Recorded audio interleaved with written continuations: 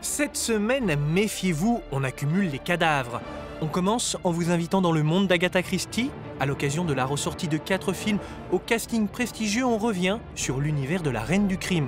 Entre films de divertissement et films policiers, on en redemande. Et si vous vous sentez surveillé ou manipulé, vous avez peut-être des raisons de le penser.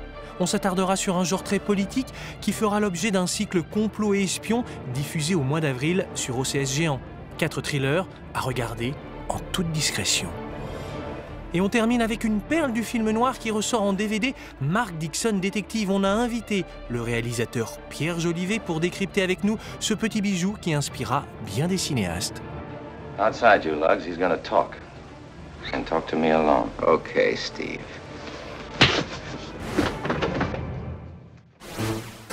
On la connaît sous le nom de la reine du crime, mais elle préférait qu'on l'appelle la duchesse de la mort.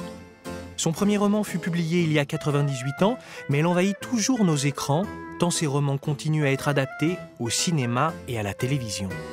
Le crime de l'Orient Express, Mort sur le Nil, Le miroir se brisa et Meurtre au soleil, quatre films tirés de l'œuvre d'Agatha Christie, ressortent en salle. Réalisés entre 1974 et 1981, ces films ont la particularité d'avoir des castings incroyablement foisonnants, rassemblant les plus grands acteurs américains et anglo-saxons de l'époque. Le nom d'Agatha Christie était plus qu'attractif. Then we must concentrate on the where, in my amateur opinion, the murderer is with us now.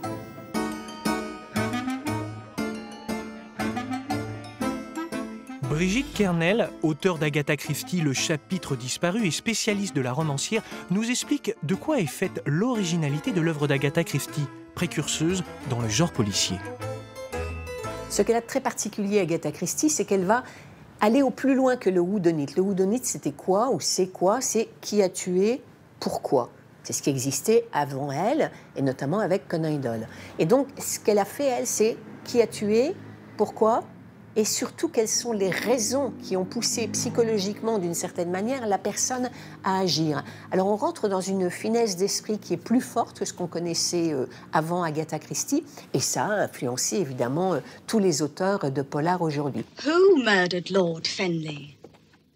Young Miss Kate, of course. Agatha Christie, bien, c'est une invention perpétuelle. Elle ose aller plus loin que les habitudes, que le polar traditionnel. Par exemple, dans, dans le policier, on va dire que dans les grandes lignes, on ne met pas comme tueur le narrateur lui-même. Et c'est ce qu'elle a fait dans le meurtre de Roger Croyd. Ou bien tous les suspects ne peuvent pas être tous des victimes. Ce qu'elle a fait euh, dans euh, euh, Les Dix Petits Nègres, où tous les suspects ne peuvent pas être tous des coupables, comme dans euh, le meurtre de l'Orient Express. My daughter. My granddaughter. Elle a été assez euh, décriée à l'époque. Mais voilà, tout ça lui a donné quand même une, une force, une vivacité, une énergie. C'est des livres qui sont énergiques, qui ne traînent pas en longueur, il n'y a pas de digression, ça fonce tout droit et on est embarqué. Memory of Colonel Armstrong, a great soldier, and even greater friend. Agatha Christie mettra en scène un personnage récurrent présent dans 33 de ses romans et 52 nouvelles. Le plus célèbre des détectives belges sera interprété notamment par Albert Finet, adoubé par la romancière et Peter Ustinov. Hercules parrot, sir. Poirot, mademoiselle, pucker your lips, as though about to bestow a kiss. Agatha Christie a un rapport assez ambigu avec Hercule Poirot. Elle a été inspirée euh, par un réfugié euh, belge euh, pendant la guerre et il avait une particularité, il avait le, crâne en forme d'œuf. Et elle a trouvé que c'était un personnage extraordinaire, quelqu'un qu'elle, avec pour qui elle avait beaucoup de respect. Donc elle aime Hercule Poirot, en même temps euh, elle s'en moque. Je pense qu'ensuite il l'a beaucoup énervée parce qu'elle était obligée de rester dans les codes qu'elle avait elle-même euh, créés, c'est-à-dire qu'il fallait qu'il soit là, il fallait qu'il soit toujours un petit peu ridicule, mais en même temps qu'il soit extrêmement euh, intelligent. C'est un humour de l'invention et je pense que le cinéma l'a parfaitement capté, peut-être outré par moments. Par exemple dans Mort sur le Nil, Ustinov, il est absolument extraordinaire. One thing is for certain. Madame Doyle was not killed by a fish. Mais c'est vrai que c'est peut-être outré par rapport à la réalité d'Hercule Poirot. Il s'en amuse. Mais je pense qu'en même temps, c'est exactement ce que voulait Agatha Christie. Rest assured, with Hercule Poirot, mysteries never last for long. On rapproche souvent Agatha Christie à un autre pilier de la culture britannique, Alfred Hitchcock. A priori, rien ne rassemblait ces deux-là, mais ils partagent en réalité une connaissance de l'âme humaine qui leur a permis de créer des personnages mythiques qui ont marqué l'imaginaire collectif. Euh, il y a quelque chose qu'ils ont en commun qui est sans doute euh, la possibilité de comprendre leur personnage. Une empathie extrêmement profonde pour euh, les gens qu'ils rencontrent. Ce sont des observateurs nés l'un et l'autre, ce qui leur permet aussi de rentrer dans la peau des personnages et de comprendre qui ils sont, quels sont leurs démons intérieurs, quelle est leur densité. Et je pense aussi qu'ils ont une analyse de l'être humain qui est proche de l'analyse qu'ils font d'eux, par exemple. Mais Agatha Christie, elle arrive à ne pas nous faire peur. Ça, c'est complètement dingue. Hitchcock, il nous fait peur dans ses films. Elle, elle ne nous fait pas peur. Elle nous rassure tout de suite. On est dans un lieu co, on est là, bien, dans notre univers. Il s'est passé quelque chose et on ne sortira pas de l'univers clos tant qu'on ne saura pas ce qui s'est passé. Elle nous encoconne dans un univers en nous rassurant, en disant Regardez, Hercule Poirot est là et moi, qui suis la marionnettiste, je vais m'arranger pour qu'il ne se passe rien d'autre de tragique, en tout cas qui pourrait vous atteindre, vous lecteurs, et on est euh, bercé comme si on était en train de jouer dans un, comme si on était dans un jeu de société. Quoi. On sait très bien que c'est de la blague. Dans Hitchcock, il y a quelque chose qui va au très fond de nous, hein, qui, nous qui nous impacte terriblement, parce que c'est des démons qu'on peut avoir tous en nous, c'est du cauchemar. Elle, on n'est pas dans le cauchemar. On est juste dans une grande euh, comédie policière. You tango, Colonel. Oh, poorly, I'm afraid, Mrs. Ottoman. Then I shall teach you to do it richly, as it was done in old Spain when it was known as the chica, that is to say, with a sensuous erotic dash. Après le franc succès de sa récente adaptation du crime de l'Orient Express, Kenneth Branagh a prévu de réaliser l'année prochaine Mort sur le Nil, où il campera une nouvelle fois le détective belge. L'œuvre d'Agatha Christie est plus vivante que jamais. Les amoureux de cinéma vont encore avoir une occasion de se réjouir. Une perle du film noir, Mark Dixon Détective, ressort dans un magnifique coffret DVD. Une belle opportunité d'être admiratif. Bonjour Pierre Jolivet, et puis surtout merci de nous accueillir chez vous pour pratiquer un des principes chers à Bertrand Tavernier qui dit Il est sain pour un cinéaste de parfois cesser de penser à ses propres films pour vanter ceux des autres. Et ça, c'est votre générosité. Bah non, c'est naturel. Enfin, je suis tellement passionné par ce métier, puis j'ai commencé par regarder des films avant d'en réaliser. Donc, euh, regarder les autres, apprendre, admirer. euh, de toute façon, le principe d'admiration est assez sain. Nous avons invité le réalisateur Pierre Jolivet, auteur majeur du cinéma français, qui s'est magnifiquement illustré dans le thriller avec Fred, Ma petite entreprise ou Jamais de la vie. Pour revenir sur ce film méconnu dont il reconnaît l'influence dans le polar. En 1950, Otto Preminger réunit de nouveau le couple mythique de son film Laura, Jean Tierney et Dana Andrews, pour cette histoire dans laquelle un policier doué, mais aux méthodes brutales, est rattrapé par un passé qu'il voudrait oublier.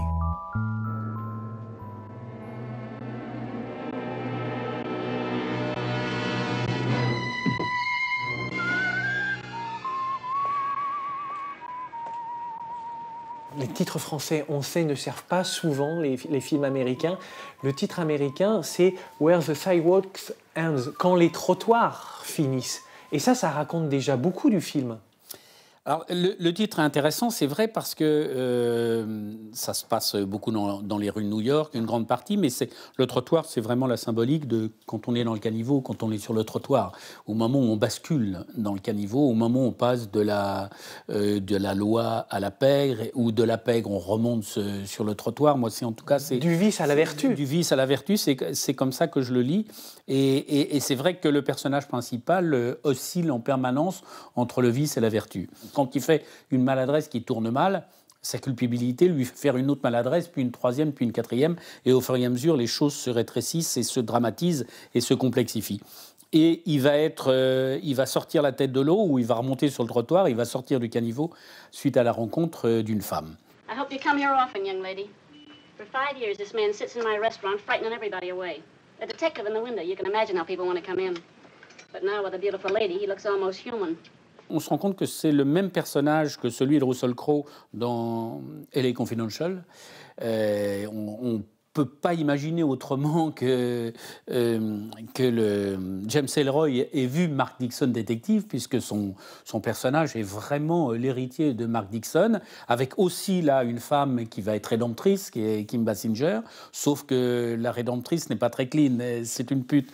Ce que je trouve très essentiel en dehors du formidable scénario de Ben Hecht, c'est le parti pris de départ qui est très moderne et que John Huston a aussi dans certains de ses films, c'est la violence du personnage principal. C'est cette incapacité à se contrôler, cette, euh, cette montée d'adrénaline euh, chez quelqu'un qui doit représenter la loi, cette montée d'adrénaline extrêmement violente, ça c'est très moderne. We've had 12 more legitimate citizen complaints against you this month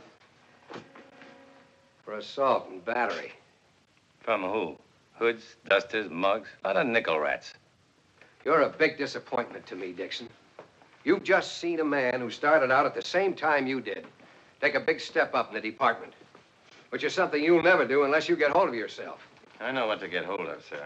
A little more pull. Sit still. You've got to learn, Dixon, what's expected of a police officer and what isn't. Dana Andrews et Gene Tierney, ils ont tourné sept films ensemble, dont quatre films sous la direction de Otto Preminger. C'est tout à fait euh, fascinant de voir, euh, et le cinéma est plein de ces rencontres, de ces rencontres qui fonctionnent entre une actrice et un acteur, dont un metteur en scène euh, prend possession, prend possession du couple, on prend possession de la qualité du rapport, de la qualité du regard. Comme réalisateur, on cherche toujours cette rencontre-là.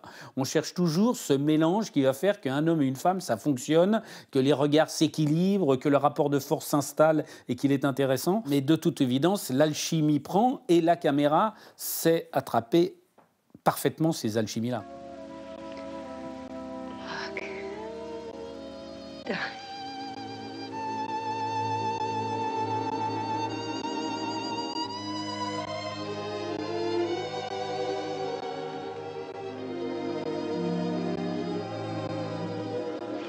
You better go home.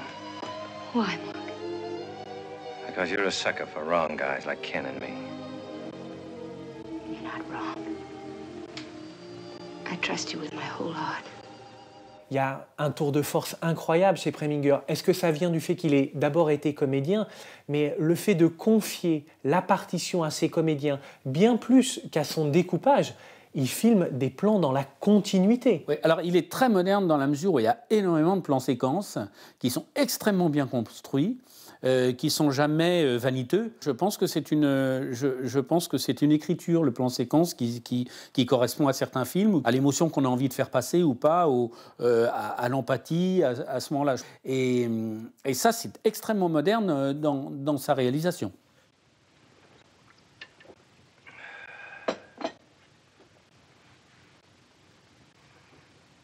I don't know why I came here. I'll go now. You can't leave like this. Merci beaucoup, Pierre Jolivet.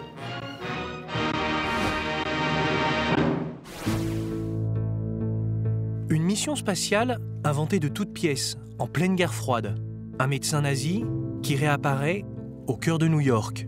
Un spécialiste de la filature engagé pour enregistrer une conversation.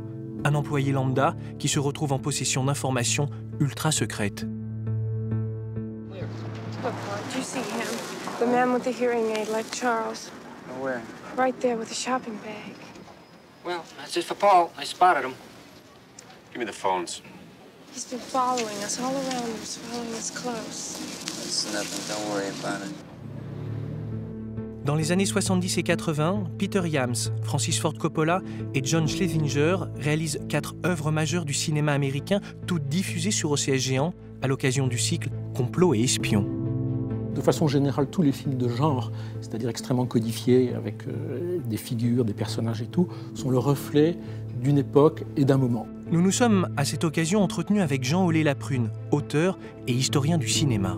Pour lui, ces films s'inscrivent dans une longue tradition du genre. Il faut bien voir que dans le film d'espionnage américain, il y a deux grandes tendances qu'on retrouve dans ces films, qui est, en schématisant, le film d'espionnage anti-nazi. On a gagné la guerre, mais les nazis ne sont pas morts, ils sont toujours quelque part parmi nous. Berlin Express, de Jacques Tourneur, Les Enchaînés d'Hitchcock. Et ça, vous le retrouvez jusque dans les années 70 avec des films comme Odessa File et surtout euh, Marathon Man, qui raconte quoi? Qui raconte le retour euh, du médecin d'Auschwitz dans, dans la civilisation américaine. Is it safe? Tell me what the it refers to. Is it safe? Yes, it's safe. It's very safe. It's so safe you wouldn't believe it.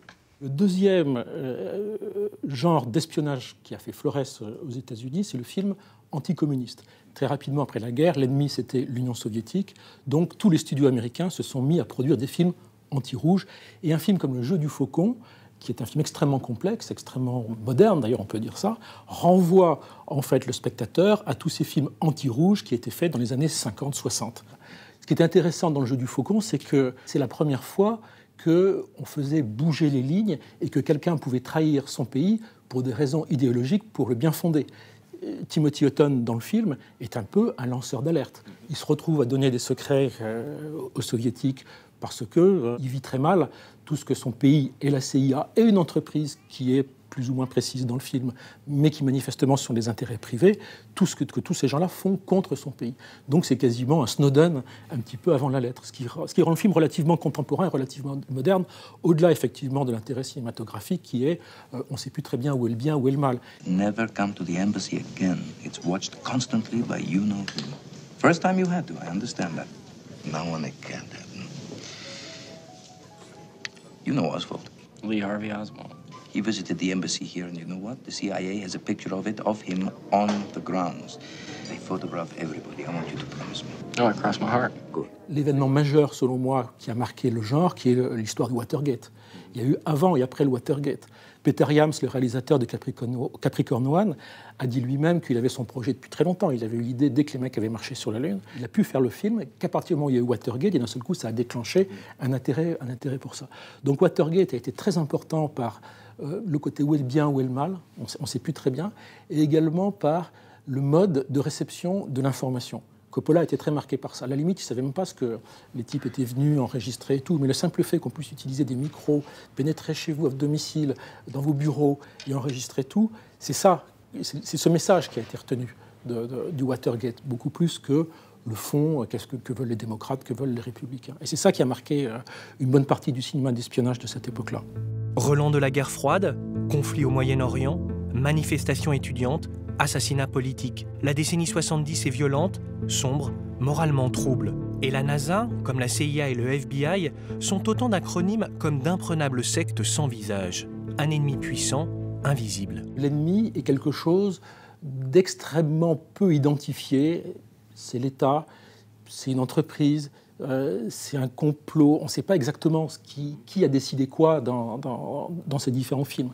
Capricorn One, on sait que la NASA a trafiqué quelque chose, mais sur ordre de qui, pour les intérêts de qui il y, a, il y a, il y a par rapport aux idéaux qui pouvaient prévaloir quelques décennies plus tôt, il y a du désenchantement. Hollis, there are a number of people who feel that we have problems right here on Earth that merit our attention before we spend billions of dollars on outer space.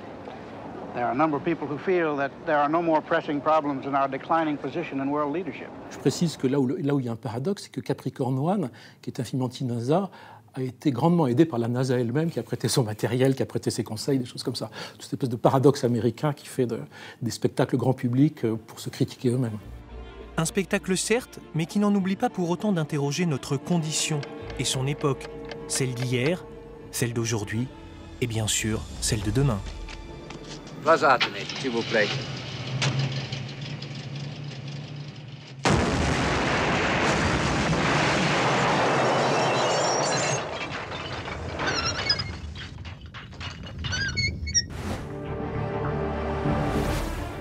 La semaine prochaine, on ouvrira en compagnie du journaliste Samuel Blumenfeld un autre chapitre du Nouvel Hollywood avec un film maudit, Sorcerer, de William Friedkin. Et nous passerons un petit moment avec le metteur en scène japonais Koreeda, présent à Paris pour son nouveau film The Third Murder, une histoire qui emprunte au cinéma américain les codes du film de prétoire. Et je vous jure, on vous dira la vérité.